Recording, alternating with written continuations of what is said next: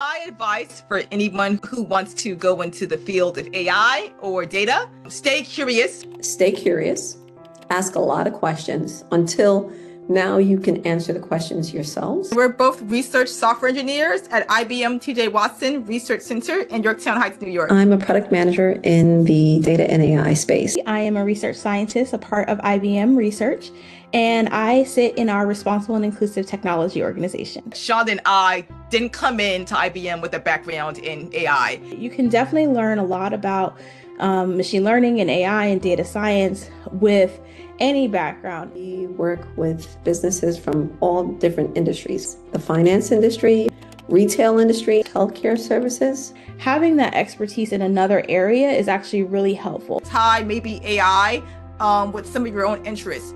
If you like video games like we do, there's AI in that as well. Jump in and learn wherever you can. I have a list of Black women that I read their work, I cite their work all the time. If you really like learning, and you're excited about the idea of constantly growing and expanding your mm-hmm. skills, then I think AI is definitely something to look into. Using our, our creative imagination and developing our technical skills in combination in either direction is so important to being able to create the technologies that we want and need for the future.